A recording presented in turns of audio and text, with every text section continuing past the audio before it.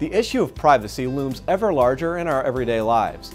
Darity Wesley, Chief Executive Officer and Legal Counsel of Privacy Solutions, says our expectations of privacy differ depending on the situation, and our privacy falls into four categories. We have bodily privacy, territorial privacy, information privacy, and communication privacy. Now, bodily privacy has to do with biometrics. You know about biometrics?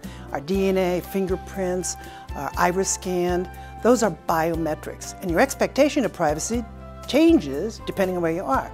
If you're involved in a law enforcement situation, certainly your expectation of privacy is different than it is in other situations.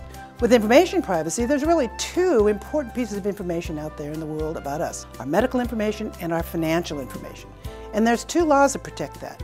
We have the Gramm-Leach-Bliley Act, which protects our financial information, and we have the Health Insurance Portability and Accountability Act, which protects our medical information. Moving on to communication privacy, there's no expectation of privacy on an email, Twitter, Facebook, MySpace, none of those, you should have any expectation of privacy.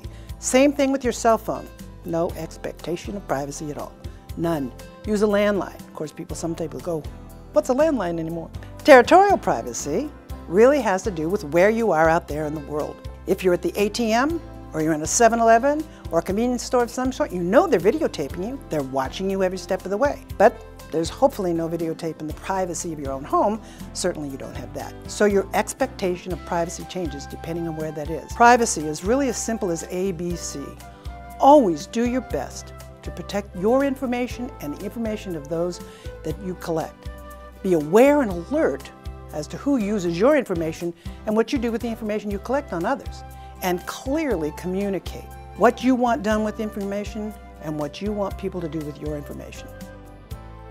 According to Darity, privacy is really about the laws which protect us, as well as our sensitivity to how information is being used about us. So stay aware and stay alert. Thanks for joining us.